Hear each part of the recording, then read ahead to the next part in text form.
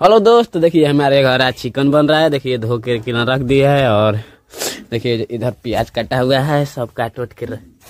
ready हुआ है और बनने के लिए जा रहा है, देखिए कढ़ाई यहाँ पर रख दिए हैं